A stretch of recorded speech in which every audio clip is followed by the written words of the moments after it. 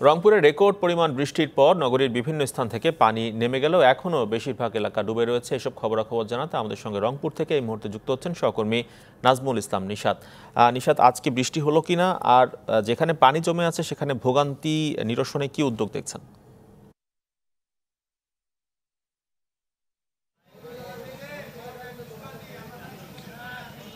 ইব্রাহিম কালকে থেকে আজকে পর্যন্ত এখন বৃষ্টি হয়নি, তবে ভোগান্তির যে চিত্র, সেটি কিন্তু গতকালকের মতোই আছে। যেসব উঁচু এলাকা, সেসব উঁচু এলাকার পানি নেমে গেলেও নগরীর যে নিচু এলাকাগুলো আছে, অধিকাংশ নিচু এলাকাতেই কিন্তু এখনও পানিবন্দী মানুষ। আমি যদি আপনাকে একটু চিত্র দেখাই, আমি রয়েছি রংপুরের মূলাটলে। আপনি এখানকার চিত্র দেখতে পাচ্ছেন, এখানে কিন্তু এখনও কোমর পরিমাণ পানি রয়েছে। শুধু মুলাটোল নয়, মুলাটোলের পাশাপাশি মুন্সিপাড়া, গুপ্তপাড়া, খলিফাপাড়া ঈদগাপাড়া সহ নগরীর অধিকাংশ এলাকাতেই কিন্তু এখনও এরকম কোমর এবং হাঁটু পানি রয়েছে এবং এসব এলাকার যারা বাসিন্দা, তাদের বাড়িতে পানি ঢুকে যাবার কারণে তারা কিন্তু উঁচু স্থানে কিংবা স্কুল, কলেজে আশ্রয় নিয়েছেন। আরেকটি বিষয় হলো যে এলাকাবাসী এবং যারা পানিবন্দী মানুষ, তারা কিন্তু বিভিন্ন সময় অভিযোগ করছে যে স্থানীয় জনপ্রতিনিধি থেকে শুরু করে তারা কিন্তু কেউ কোনো রকম সহায়তায় এগিয়ে আসেনি। আমি এখানকার স্থানীয় একজন বাসিন্দার সাথে একটু কথা বলে নিতে চাই।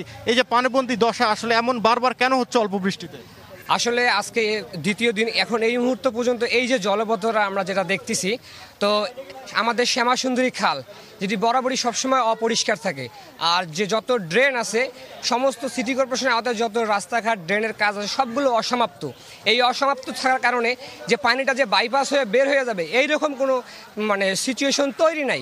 যার কারণে আজকে এখনও রংপুর সিটি কর্পোরেশনের তেত্রিশটি ওয়ার্ডের বাসিন্দা জলবদ্ধতায় অনেক ক্ষতিগ্রস্ত।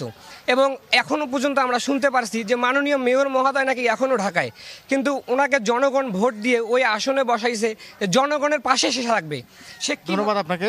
বুঝতে পেরেছি। ইব্রাহিম, আপনি যেটা শুনছেন যে রংপুর নগরীর যে সংযোগ যে ড্রেনগুলো আছে, সেই ড্রেনের সিস্টেম ঠিক না থাকার কারণে জলাবদ্ধতা আসলে সহসা নিরসন হচ্ছে না এবং গতকাল থেকে আজকে পর্যন্ত এই জলাবদ্ধ মানুষের যে দুর্ভোগ, সেটি কিন্তু বেড়েই চলেছে এবং